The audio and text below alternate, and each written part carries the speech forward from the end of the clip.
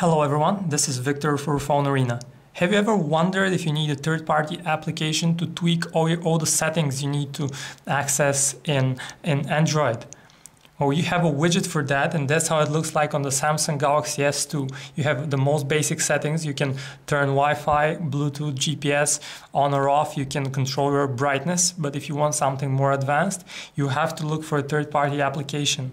What we have for you today is Quicker. It costs 141 on the Android market, and it offers you a very uh, nice, very visual way to uh, switch on or off different settings and access uh, other advanced features in Android. So that's how the application looks like. You have three home panes, and you can actually, by holding uh, on, on one of them, you can choose to add widgets. You have a lot of system settings, not only brightness, you also have uh, portable Wi-Fi hotspot. You have you can turn on or off mobile data. So it's a, a, a, there's a lot of interesting features that you can add. You have also different indicators.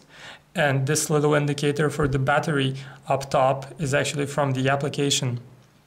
You also have flashlight, which uses your uh, LED flash uh, as a flashlight.